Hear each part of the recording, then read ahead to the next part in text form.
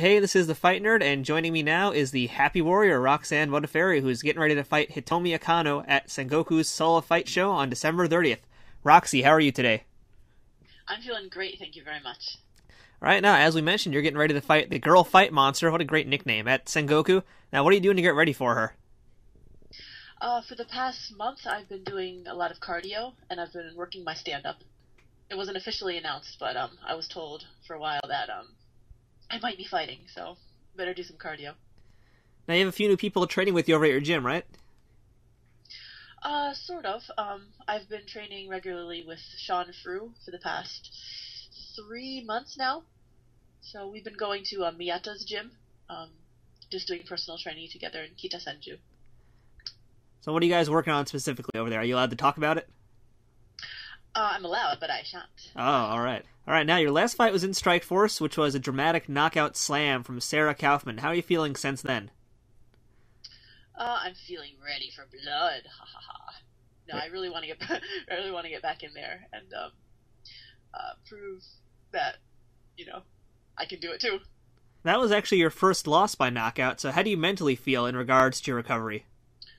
Uh, I feel eager to turn the tables on my next opponent, whoever that might be. And um, I don't know. Actually, that fight, that knockout, wasn't as hard on me as it could have been. Um, it was kind of cool. Unfortunately, I lost, but um, you know, it kind of knocked the 135 pound champion belt from challengers onto the main show. So that was pretty cool. I was pleased with the result anyway for um, women's MMA.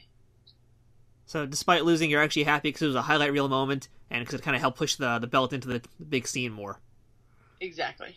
Now, with a lot of these Japanese New Year's MMA events, things seem to get booked at the last minute. Um, so you mentioned you kind of knew about this in November. So talk about, I guess, a little about the uh, the process of getting contacted for this fight and when it was officially booked, and how you actually trained for a fight with so little time to get ready. Yeah, it kind of sucks, but in Japan, that's how they do it. They tell you, "Oh, we want you to fight in this promotion." And you're like, "Okay, who, when, what, where?" And they're like, "Oh, we don't know." so, um, you know, I was, told either Jewels or Sengoku, and then as Jewels got to be like one week before Jewels, I thought, well, it's probably not going to be Jewels. Um, much just had to train generically. Like I knew my weaknesses and my strengths, so I tried to focus on, you know, just what I needed to work on, and uh, you know, run stairs. I hate stairs, but it really gets my cardio up. So now that I know who my opponent is, um, you know, I can kind of focus more on what I think she's gonna do. Now, were you offered several different fights, or, or did they just kind of say you're gonna get Akano and that's it? Um, there were talks about various other people, so it was kind of actually it was pretty stressful for me because I didn't know who or what or when. Um, but that's the fight game, so you just gotta keep yourself prepared and focus on yourself. Now, Hitomi Akano's last appearance was also in America at the Strikeforce Challengers 10 tournament, where she earned a win over Karina Dahm and then a loss to Miesha Tate. Now, did you learn anything about her from watching those two fights, or have you seen those two fights yet? Uh, I've seen them, and um, I have to re-examine them today actually before training. Yeah, I think it'll it's good studying for me, but I can't say specifically. uh, so you can't tell us any weaknesses or any strategy yet. Nah. All I right. don't think so. Sorry. Oh, that sucks. All right. Well, in the meantime, we've been hearing all sorts of news in America about what's happening over in Japan with K1 and Dream. And of course, you are a foreigner living in a foreign land in Japan, so you kind of represent the Japanese public for us and tell us what they think and the mainstream media thinks about the news about those two companies and their financial troubles?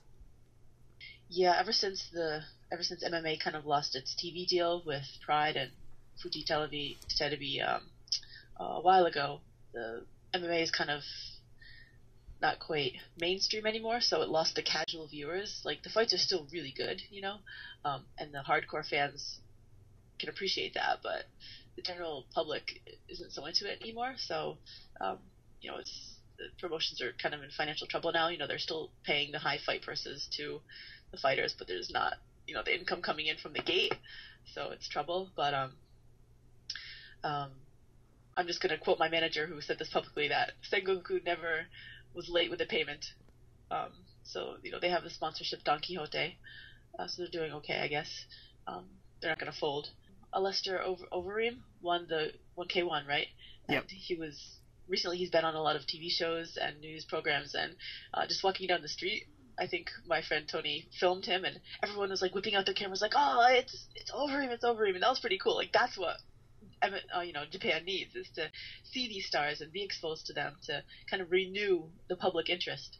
So everyone's pretty much crossing their fingers that you know this year's Dynamite and this year's end of the year uh, fights will, will really kind of help you know push expand MMA a little bit in Japan.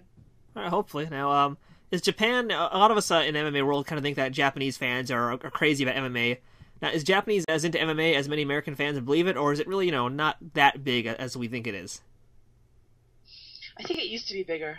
Um, people who used to watch it just because it was on TV just would change the channel now. Like like I said, it lost casual viewers. Um, now, I spoke to Tara LaRosa recently after her win at Damage, and we did a little interview, and she mentioned that she wants to even the score with you and make your two fights into a trilogy. And I know you want that fight to happen as well, but you want it under certain terms, right? Yes, I want it in some big show. You know, I think that's an amazing fight, and we we always put on a good show, and it's going to be really exciting. And um, you know, I want a lot of people to see it. I want it to be not some local show. No offense, local shows are great, but you know, I want it to be televised. Um, I want it to be a big deal, you know. So, um, it's, and you know, that's what I'd like. So Fair. I just want to wait for the right offer to to fight Tara again. Did you happen to actually see her fight against uh, her opponent recently at Damage? I did, yes. What did you think of Tara's performance? Yeah, I thought uh, Tara had a good performance, and um, Hashi also had a good performance. So um, it was a really good fight at Damage. Okay, yeah. Thanks for reminding me about her last name. I forgot what uh, her opponent's name was for a second there. Thank you for that. My pleasure. all right, now Roxy, She's my like... former teammate after all. there you go. All right, now if you'd like, go ahead and uh, thank your sponsors or anybody else you'd like.